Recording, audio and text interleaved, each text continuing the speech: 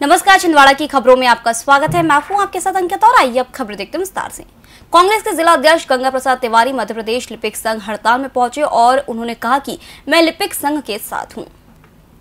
Private school संचालकों ने अनगढ़ हनुमान मंदिर में मध्य प्रदेश शासन की सदबुद्धि के लिए सुंदरकांड का पाठ किया।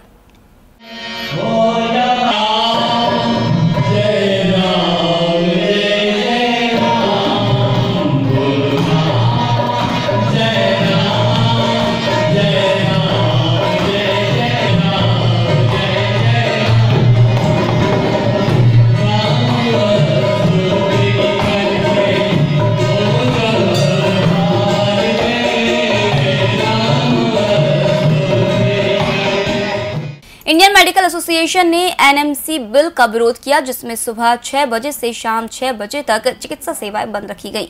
सिर्फ़ इमरजेंसी में आए मरीजों को ही सेवा दी गई। लोकतंत्र का सम्मान करते हैं तो हम चाहते हैं कि सभी जनता लोग भी हमारा सम्मान करें। हम इतना पढ़ाई करके दस साल पढ़ने के बाद अगर कोई ट्रीटमेंट करना शुरू करते हैं तो उसके बाद भी वो क्रॉस जो एनएमसी बिल में आने वाला है, उसमें कि एक एंट्रेंस एग्जिट एग्ज़ाम होगा, जिसका हम विरोध करते हैं। दूसरा जो क्रॉस पैथी है, उसका हम विरोध करते हैं। और जो कमेटी एडवाइजरी कमेटी जो बनेगी उसका भी हम विरोध करते हैं। वोटर लिस्ट में हुई गड़बड़ी के सुधार के लिए कांग्रेस के जिला अध्यक्ष ने एडीएम को ज्ञापन सौंपा साथ ही मामले से संबंधित उनतीस सीडी भी सौंपी। उनतीस सीडी में ये स्थिति है कि कुछ विधानसभा में एक ही मतदाता के नाम दो दो तीन तीन बार।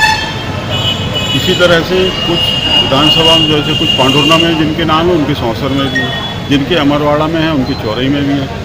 ऐसे मतदाताओं की हज़ारों की संख्या है, जो कि गलत तरीके से उसमें जुड़े हुए हैं। और हमने उसका जो एनालिसिस कराई है, उसके अनुसार हमने वो सीडी दिया है कि किस तरह से ये डबल डबल नाम है। एक ही उनका वोटर आईडी नंबर एक ही है, पति का नाम एक ही है, आयु उनकी एक ही है, सब कुछ उनकी है। और इस तरह से बहुत सारे नाम जो हैं डुप्लीकेशन है और कई नाम गलत जोड़े हैं। वो आज हमने ज्ञापन दिया है। छिंदवाड़ा में यूनिवर्सल क्लब और न्यू युवा क्लब के बीच फुटबॉल मैच खेला गया।